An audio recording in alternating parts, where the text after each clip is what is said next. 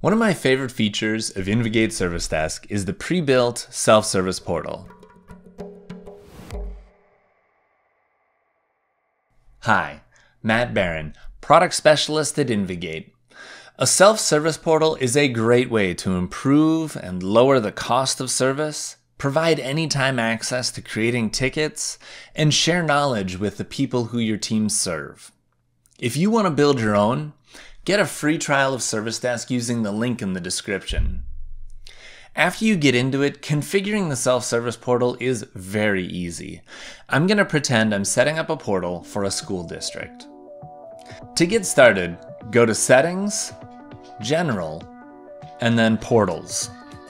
There are two portals, one for agents and another one for customers, self-service users, and employees. We're going to focus on the self-service portal for now, so to get started scroll down to the self-service section. Here you're going to put in the portal name and upload a logo.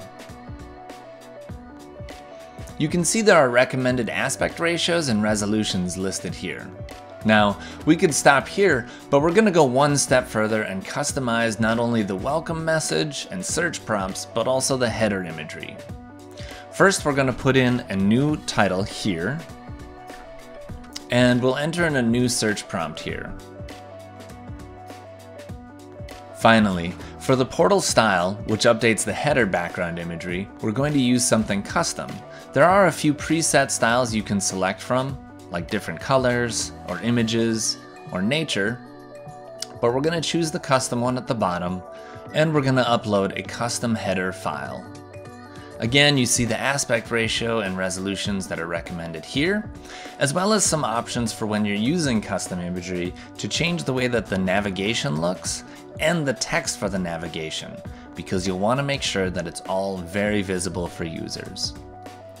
For now, I'm going to keep the custom logout URL set to the default, but you could set this to your intranet page or an external facing web page that your employees use a lot. So, now to check my work, I'm gonna save this and click on preview and our portal design is complete. You can see that I could use this portal as it currently is designed, or I could add some more features. The next step is to make sure that the request items and tickets that I want users seeing most are featured here in the bottom right. And this step is also very simple.